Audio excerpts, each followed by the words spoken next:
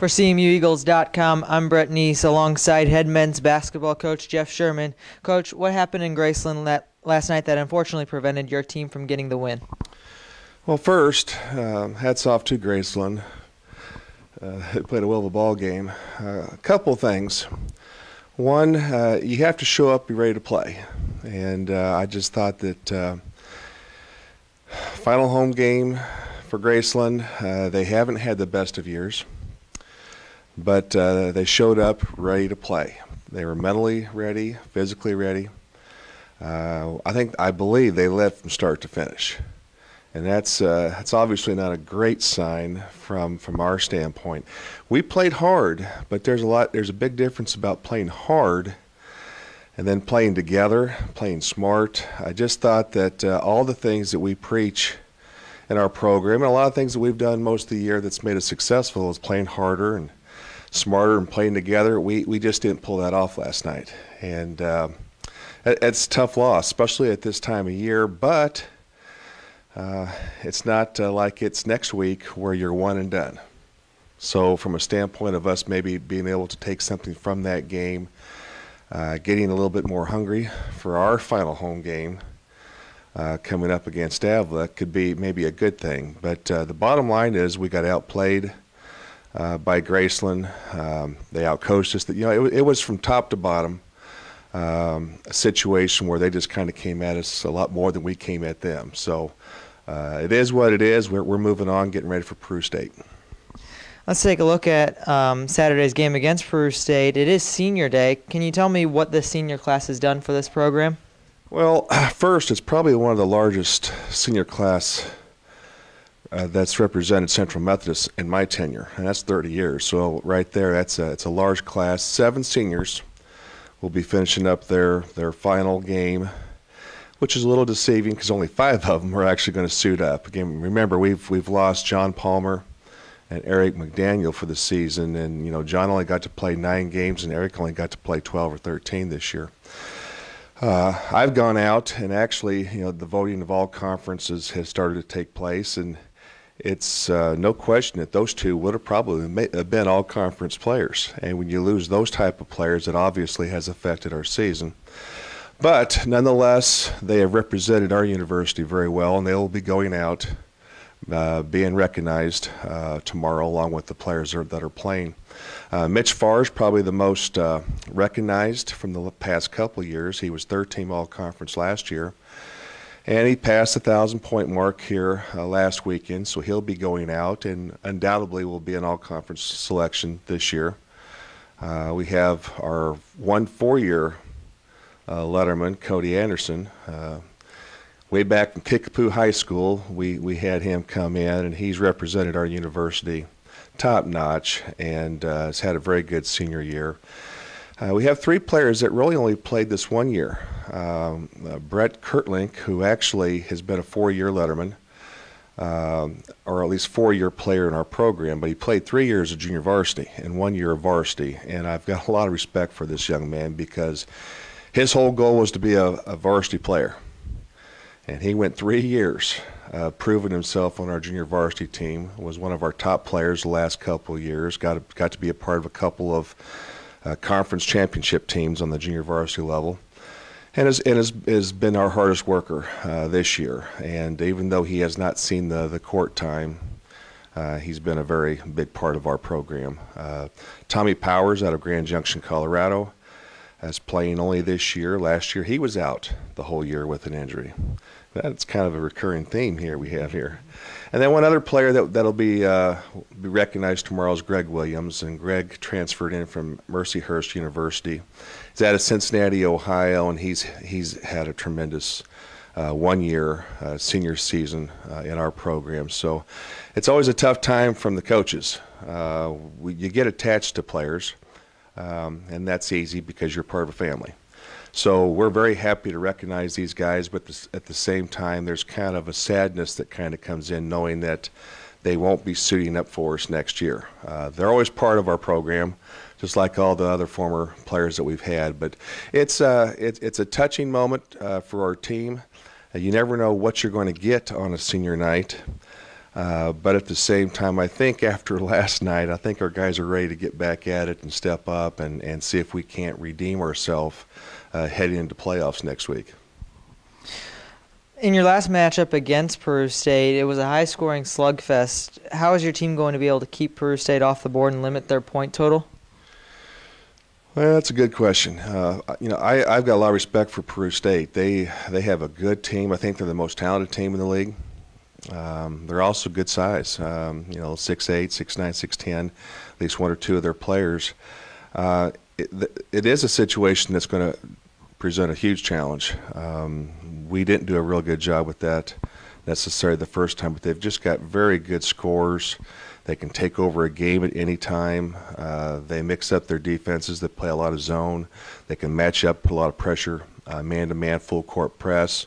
They're just long, and uh, for a team to run their offense, you really have to be uh, on the ball. That's something we can't really practice. Uh, you know, we, we don't have that length even in practice to prepare ourselves.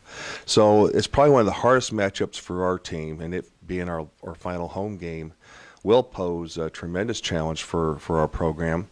Um, I've always said it's one of the toughest places to go play because of the distance. So they do have to travel to Fayette, Missouri, and at least they'll have to deal with that uh, that situation right there. But it's a very good team. Um, I'd like to think that if we're going to um, be a team that's going to be a threat uh, next week in postseason. This is a team that you need to be able to beat. And again, we're going to treat this like it is a first round playoff game here at home. Uh, at least put ourselves in a position to where we need to treat every possession as if it's important. We didn't do that last night. We uh, we found ourselves down eight, ten points right off the bat, and we were over 20 points the second half. We have not seen that all year. And if you don't show up and prepare yourself to play every possession, and I think we've had a little bit of success of coming from 15 points behind. Everyone kept saying, well, you're only 15 points behind. You're going to be in good shape. You can't keep doing that uh, with teams in our league. We're just too, just too good a league, and we have to be able to come out and get a better start. And that's going to be a big focus for us uh, as we enter, you know, the final home game and, and senior night looking at Peru State's roster, they have Corday Sims, their leading scorer. He's averaging over 20 points a game, and in their last matchup against them, they had three players that were over the 20 point mark. What are you going to have to do to shut Sims down and some of these other guys down? Well, you're correct there. They three players, three strong players that will undoubtedly be recognized as all conference next week. Uh, Sims, uh, in my opinion, will probably be the newcomer of the year in the conference and he's probably the best all around player in the conference. Now, uh, I say that if Peru State were at the top, he would be the MVP of the conference. So he is the real deal. Um, and he's going to be one that's going to be a huge challenge. But once you start to focus all your attentions on him, they do have other players that can step up and score. The only reason I believe Peru is where they're at is they have not had all their players every night during the conference play. Hasn't been with injuries like ours has. It's been a couple of discipline issues and uh, situations uh, here and there, but they're a very scary team uh, once they get everybody together. And uh, it, it, it's all basically stems from Sims. Um, he's, a, he's one of the very few players, I think, in the conference that can completely take a game over. So we could be doing everything right, and he could still be uh, getting his points. I don't know if it's as much of us controlling him. We can't have the other two. Uh, or, or we had get three players with 20. It's okay if he gets his 20, 25, but we can't have it to where the team is that balanced at that uh, at that stage of the point uh, level. So this will be a you know we're going to have to mix a lot of different players uh, on him, give him a bunch of different looks as as as we will with the rest of the team. Well, on the flip side, your team is going to have to produce a lot of offense. And who are you looking for to, uh, to do that tomorrow? Well, we we needed a lot of offense last night, and we just didn't quite get that too. We can put up some points, uh, and again, it, it's all going to come down to how well we shoot. We shot 21% the first half last night, and uh, we ended up shooting 33 or 34% for the game. You're not going to beat many teams uh, with that kind of a shooting percentage, and we have good shooters. But in order to be uh, shooting a high percentage, in my opinion, is you have to be able to execute.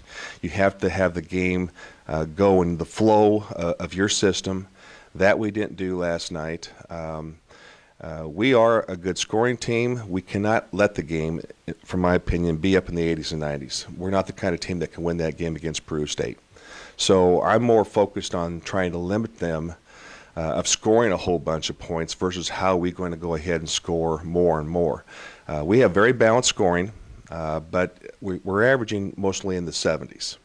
Uh, maybe right around 80. If the game is going to be right around that area, we feel good about what our chances are for us to extend that a little bit is kind of going out of the comfort zone and probably playing out of our our normal uh, routine. And even though you have those nights, um, it's one of those things that that would make Peru happy. I mean, Peru wants the game to be very up tempo, a lot of shots, a lot of possessions, and if we get in that type of game with Peru, um, we won't have as good a chance. So again, it's going to be more or less really controlling the number of possessions, so we can kind of keep them away from doing a lot of the things versus us trying to do more. Uh, but you know, we have the players that can do it. You know, really, we feel we can go either way. Uh, but it comes down to the shooting percentage on that, and if we're shooting well, we don't mind taking a bunch of shots. Uh, last night, uh, Graceland just took the game completely over. They had good shot selection. They had good flow. They were getting the ball inside, outside. They had good transition. Uh, that's something that we can't allow uh, Peru to do tomorrow. With one game left in the conference and and going into the conference tournament, it is an exciting time of the year. But in the middle of this losing streak, how how easy or how hard actually is it to be excited right now? Well, we're excited. Um, this is the most enjoyable time of the year to play, and it's not that we're playing. With the exception of last night, we're not playing poorly. Uh, it's uh, hitting teams on, on good nights. Uh, this is uncharacteristic territory for us. We have not hit this type of a losing schedule. We've lost three or four, uh, five or six, wh- whatever that might be, and we were on on a verge of a of a what would what many would consider an easy 20-win season. We still have that uh, luxury to shoot for, but what we have to be able to do is not focus on what, what's already happened. We're, we're a good enough team, and I think you would get this from most anybody in our league, that we're a good enough team to still win this thing through. But a lot of teams are that way. And uh, we get an opportunity to still keep playing. And uh, that's, uh, that's how we're really approached it, not what we've kind of got ourselves into right now. We still have an opportunity to, to make it good. So if we can come up with a good effort and a good game Saturday, we can go into next week – and the thing about next week, every team is zero and zero. You could have been 29 and two and two and 29, and you start next week zero and zero. And that's what we plan to, to look at it. And uh, it's going to be one game at a time, whichever team we draw. But uh, we need some momentum. Uh, I'll be honest, we need some momentum, and Saturday is our opportunity to get that. So we can we control our destiny, and that's what we want. It's what we've always asked for and that's what we'll be working for tomorrow. Central Methodist takes on Peru State College tomorrow, February 28th. It is senior day. Tip off is set for 4 p.m. It's the last game of the regular season. Coach, good luck. You betcha. Thank you.